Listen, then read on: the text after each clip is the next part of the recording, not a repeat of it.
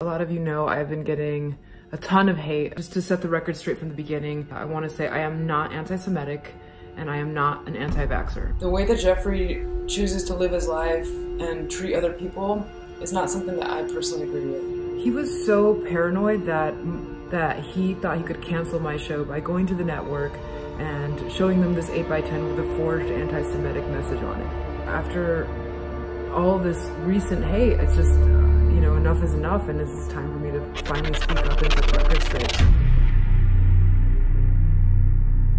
Once upon a time, Kat Von D built an empire. She used her television presence to land a spin-off and then established a beauty brand that made millions. But despite her success, she never seemed grateful. From internet feuds to conveniently placed swastikas, it almost seems like Kat Von D wanted to ruin her own reputation. So let's get into it. Kat Von D is a tattoo artist who took her career and turned it into a brand, which included television, makeup products, and social media influence. At one point, she was at the top of her game until she ruined it all. So today, I want to talk about where Kat Von D came from, how she became famous, and then how she destroyed everything. Now, she started tattooing at the age of 14, which doesn't sound right, but she created a device out of a guitar string and a motor that was meant for a cassette player. Two years later, at the age of 16, she dropped out of high school and started tattooing at Sin City Tattoo in Los Angeles. I can't believe she was tattooing people at the age of 16 because I feel like that doesn't sound legal. I know you have to have certain certifications to give tattoos. I didn't realize minors could do that. I mean, I doubt she played by the rules, but she was quoted saying that I think when I started getting tattoos, it was really scary for my parents. You know, I had a mohawk and I was 14 when I stopped going to school. Sounds like a handful. Now, while it's a scary position to be in when you have a child who's like running off, leaving school to go and tattoo people, it was rewarding for Kat because she was really passionate. And that's what led her to her big break in 2005 when a reality television show came out titled Miami Ink. And honestly, I remember seeing this on the television when I was growing up. At first, Kat wasn't supposed to be on the show, despite being the breakout star. There was a man named Darren Brass who was supposed to be on the first season season, but he injured his elbow and Kat filled in. I said don't be mean to me because this is hold on, sorry, hold because on. everybody Wait, here. stop, stop. Why Listen. can't I Stop. stop? Because I'm the boss, okay? And I'm so tired of people not listening when I'm talking, especially you.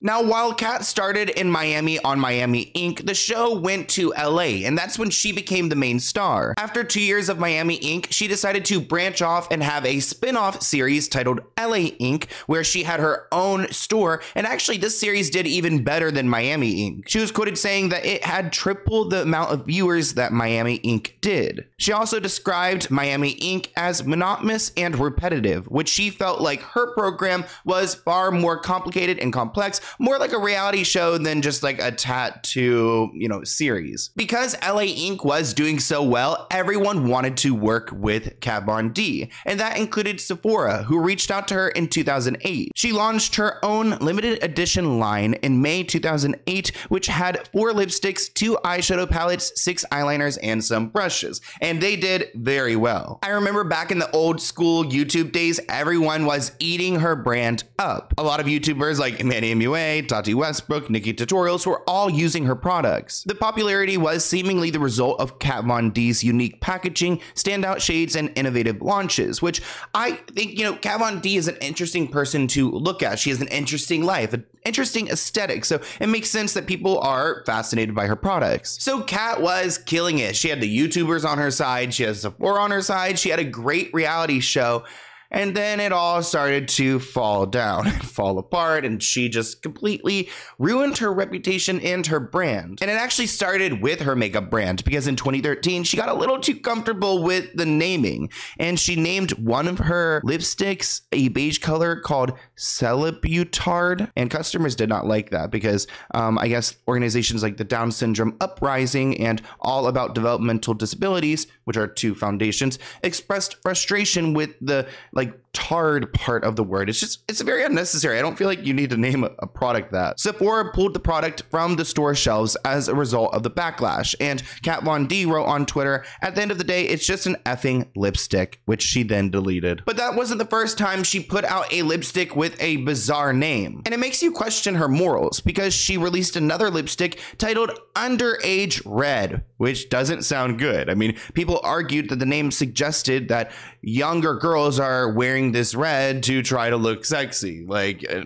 I mean, clearly underage and then the color red. People were even posting on Twitter, like, why do I see this in a Sephora? Which, you know, Sephora probably doesn't like having the backlash due to her naming. I think one of the reasons why Kat Von D hasn't survived throughout her career is because she's always very defensive. She responded in a Facebook post and she kind of acknowledges like what people are saying and then kind of like justifies it in a way too. Like she claims that she remembers being 16 years old and wearing this kind of shade of red and wanting to wear it. She loved like rock and roll music. And I guess like it was inappropriate for her to be wearing that like at that age at this time I'm not sure, but um, she's kind of naming it after her being a young girl, like wanting to wear this, and it kind of like alludes to the name that people are upset by. She's arguing that it's not a color that promotes sexualization of any sorts or promotes a destructive lifestyle. She says, No, I refuse to sacrifice my integrity and creative freedom. No, I will not be pulling underage red from my collection. And no, this is not an apology. Whew. Now, I don't think we can talk about Kat Von D without talking about Jeffree Star because they had quite the friendship. And supposedly, a lot of his initial success is due to Kat helping him get established. And even though they had a decent business relationship, it didn't work out because in 2016, Kat Von D publicly ended her friendship with Jeffree Star on Instagram. Jeffree and Kat argued on Twitter, which led to Kat to film a YouTube video about Jeffree, which has now been deleted, but of course reposted. She called out Jeffree for bullying, using veganism to sell makeup, and not paying the artist who created his brand's logo, among other claims. Now, we all know Jeffree Star is no angel, but clearly she is here trying to drag him, and there is some personal beef. And honestly, Jeffree Star is one person I probably would not want to cross paths with and you know fight with because he is brutal. I do remember this claim by this artist who said that Jeffree did not pay for the artwork and I don't know if Jeffree did not pay or what exactly happened there. I don't think he did pay because if the artist is out here like claiming they weren't paid then they probably were not paid. I don't think anyone's going to make that up. Either way, this was a nasty fight and you know Jeffree Star was upset when he saw that she posted this video all about him and just trying to ruin his brand. And at this point, like Jeffree's doing very, very well on like YouTube. So I feel like Kat, while doing this, like, yeah, it's like stabbing Jeffrey in the back and like maybe like hurting him, but it's also losing a big part of her fan base who are so loyal to him. Hey guys, it's Kat over here. Uh, I just want to uh, post this video regarding what I posted earlier about Jeffree Star and my recent decision to distance myself, actually to disassociate myself completely from him and his makeup line. You know, being associated with somebody who does do the things that he does, it really makes me nervous because I don't want my fans or followers to think that that's a good example of. Uh, I remember, you know, seeing him go off on this rant and really commanding his followers to start attacking this other really much smaller brand who made lip glosses, not even lipsticks, because of some human error in label labeling. You know, I remember I think like the brand had accidentally labeled something with carmine, and they had claimed to be vegan, and he just went off on this brand. And I remember thinking, wait, you're not even vegan. I mean, I know you're you're you, you like to put that word onto your packaging so that you can like bring in the vegan bucks but like you totally eat animal products and not not only that but you like promote mac and like tons of other l'oreal like all of the biggest makeup lines that like actually test on animals now, I don't think Kat is lying here. This is just part of her downfall because of this drama, which really got her into trouble. I'm not here to say one person was right or not, but these two were very good friends. So this is like watching a really personal relationship like just disintegrate in front of our eyes. Just because I call you out on social media about being a bully doesn't mean you, that you can post a tweet that says, hey, Kat Von has never supported me in my my makeup line when honestly Jeffree if it wasn't for me you wouldn't be where you are now I mean I introduced Jeffree to BJ and then BJ drew up his logos Jeffree went forward with them, and it's the logos that you guys see now on all of the caps of all of his lipsticks, and then never, never paid BJ. And BJ would call him, and basically Jeffree blocked his phone. So the minute that I found out about that, which was this last Saturday, I texted Jeffree and said, Hey Jeffree, can you explain to me why you haven't paid BJ? And he basically told me to off. And of course, Jeffree responded with a video of his own, which he claimed that Kat backed out of being an investor in Jeffree Star Cosmetics and that like she has nothing to do with his success. He also claims that of course he paid that artist, but it doesn't really explain the blocking situation. Um, if you do not know the scenario, basically two summers ago, my brand was skyrocketing, Kat Von D was stagnant, and she decided to cross out my face and um, let the internet know a bunch of crazy lies. Of course, I responded and debunked everything that she said because she was completely full of shit. And there's always just been a weird tension ever since. Now, that was a YouTube feud that made history, but that's not Kat Von D's only questionable relationship because she's also had some romantic relationships which are bizarre. Let's talk about this man named Jesse James. Jesse James is a questionable man who once was married to Sandra Bullock. He actually cheated on Sandra, which led to their divorce, but they were together for five years and even went through the process to adopt a child together. Despite Jesse being a terrible man for cheating on Sandra, Kat Von D decided decided to go and hook up with him. Now, Kat was definitely Jesse's rebound, but she decided to marry him anyways. Six months after they were married, Kat Von D called it off because he went on to cheat on her with 19 different women. Kat Von D took to her weapon of choice, a lengthy Facebook post, which she does tend to do that, and she actually called out her former fiance. She wrote, Thank you, Jesse James. And she claimed that she encountered the 19th girl to add to the list that Jesse had cheated on her with. She also admitted that she was getting tired of getting mistaken for the person who broke up Jesse's marriage to Sandra Bullock. Now, I'm not surprised that Kat Von D had issues with Jesse James, but I'm also not surprised that she went for this kind of man. The reason why I started off saying that he was controversial is because in 2010, he was photographed wearing a Nazi hat and giving a salute. His lawyer put out a statement claiming that he was gifted this by a Jewish friend. Sounds a little bit complicated, but nonetheless, it's really bizarre. And I think it speaks to probably his morals and his intentions, his beliefs. Like, I don't like that vibe. But don't worry about Kat because she moved on and in 2018 she decided to marry a man named Raphael. She ditched the traditional idea of a white wedding gown and opted for a bold blood red dress. And I'm not against a bold wedding. I think that that can be cool. But her wedding had some satanic qualities. I mean, looking at her alone, she looks kind of evil with the red horns and the red dress. But let's go through the other factors of this wedding which are questionable. Now, the invitation was sent in a black box with Latin words on it, which read in life and in death. The invitation itself is written on the back of a skull with an inverted cross on the forehead. The cross is placed right on the pineal gland, which is also known as the third eye. And honestly, if I was sent this to my home, I would be like, oh no, was I just cursed? Like, we need to get this out of my home.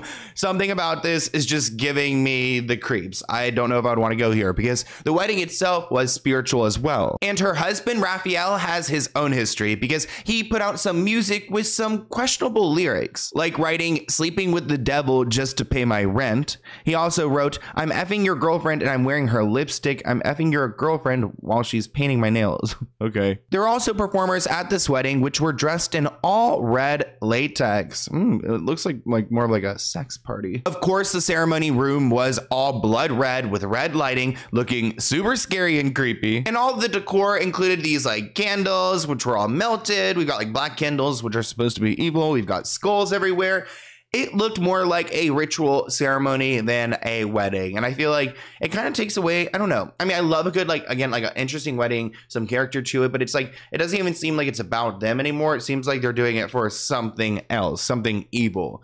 But she ended up marrying this man and she ended up getting pregnant. And when she got pregnant, there was a new set of controversies because she claims she's not taking anybody's advice. She's going to be doing everything very natural, very drug free.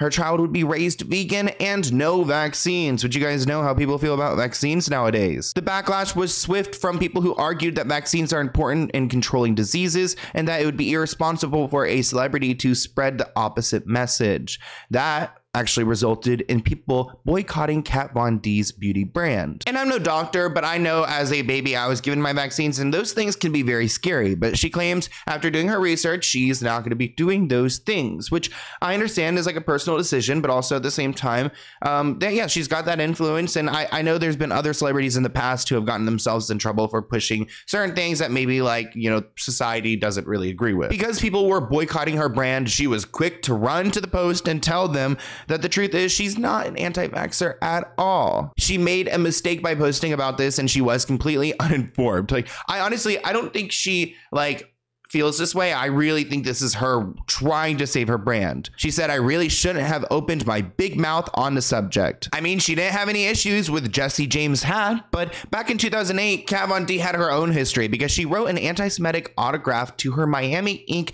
co star. There were no witnesses to this message being written, but according to the publication, a fellow co star, Chris, told TMZ that Kat Von D handed him the photo. TLC claimed that they would be investigating the photograph at this point, and Kat Von D called it forgery. But I mean, do you think TLC is going to do anything? Because she was getting the most views on their channel at this point. And even though she's calling it forgery, her co star who received it claims it's not. Actually, he hired a lawyer to intervene. So TLC was forced to investigate. They actually worked with a handwriting analyst who concluded that there was a 99% probability that Kat Von D wrote the message. When he confronted TLC about the results, they simply sent him a letter back that acknowledged receiving the results and said, We trust that this information will be kept strictly confidential. And of course, they want it confidential. They want to protect their moneymaker. And look at this message. Uh, what a nasty woman. If she, like, for doing this, like, oh God, it just like, Whew, it irks me. When this story was leaked, TLC was confronted by it, and they claimed they did their investigation. Kat Von D denies it, and they did not take any action because they can't conclude that she did it, even though he hired this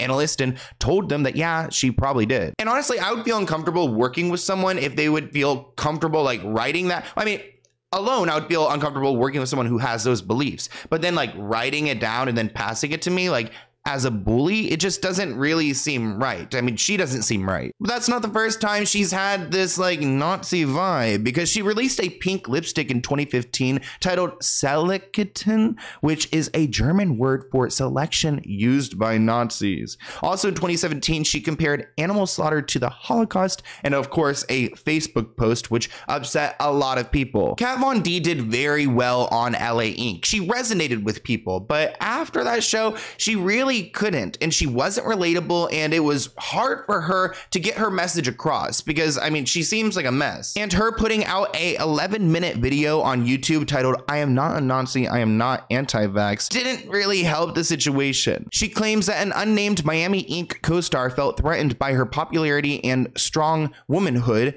that she had on the show that at the time this co-star sabotaged her tattoo equipment, sent her inappropriate photos and touched her without consent. And later he used the anti-Semitic autograph, which Kat Von D claims was forged, in hopes of canceling her spinoff. He was so paranoid that LA Ink would replace Miami Ink, which eventually it did, that he thought he could cancel my show by going to the network and showing them this 8x10 with a forged anti-Semitic message on it.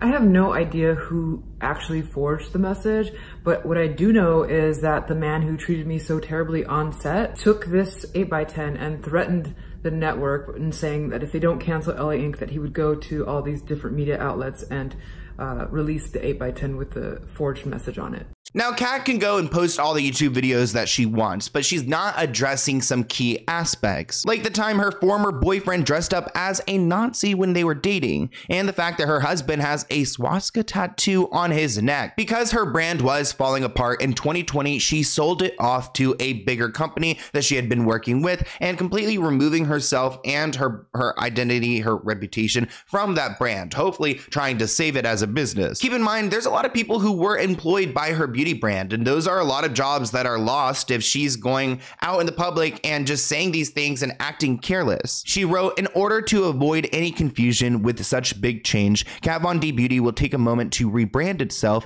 and you'll start noticing the change from Kat Von D Beauty to KVD Vegan Beauty. That's a long name. Even though Kat Von D wiped her hands clean of the beauty brand, she still has her tattoo shop. And in January 2022, she was sued by a former employee who claims that she was let go because Kat wasn't taking the COVID lockdown seriously. She claims that Kat Von D refused to follow COVID protocols and that she was pretty much making fun of the pandemic. At one point, this employee was wearing a face mask, and Kat said, You're gonna wear that maxi pad on your face, making fun of the fact that she was doing that. She also claimed that she wasn't paid properly during COVID, that she wasn't paid her hourly wage or a base salary. She was provided with 10% share of every tattoo paid for each day, which on some days was zero dollars. So that employee is fighting their case as they should. If they weren't treated right, then go and get your justice. But that's not the only issue with this tattoo shop because the landlord of the studio claims that Kat wasn't paying rent and owes $92,000 in rent. That case is still going on, but the landlord claims that she asked for tiling to be replaced, a wall to be knocked down, a bunch of renovations to be done, and she has not paid up. But it seems like Kat is trying to change herself because she did claim that she got baptized and she now renounced witchcraft, that she's now changing as a person. And that's good for her if she wants to do this. She claims that she's giving up a bunch of books, all this witchery, all these spells, which I mean, oh, all that stuff freaks me out. So I'm like, good, go ahead and get rid of it. She said she's leaving her dark ways behind, that she got baptized, that she is now a Christian and she is, you know, into the faith after years of being like low key evil. And I, I, don't know. It's kind of interesting to see. I mean, I didn't realize she was like. I mean, she had all these books. I wonder if she was really reading them. This article writes, "This seems to be a major departure for Kat Von D, since these themes have long been part of her aesthetic and brands. Her former beauty brand offered a tarot-inspired collection with a black lipstick named Witches, and for example, her current shoe line offers a coffin-shaped wallet. So uh, it's still a big part of her brand, even though she's trying to rebrand herself. And I really hope she's rebranding herself as a person to be a better person because it seems like over her career, she's had a lot of missteps and maybe she could take some ownership for those and kind of acknowledge and learn from them because it's not really a great look, especially because I did fall in love with her as a kid, like watching the television show, and she was likable, she was cool, she had a vibe, and then she just like ruined herself on social media. So I want to hear what you guys think in the comments below, and I'll see you in a new video soon. Bye, guys.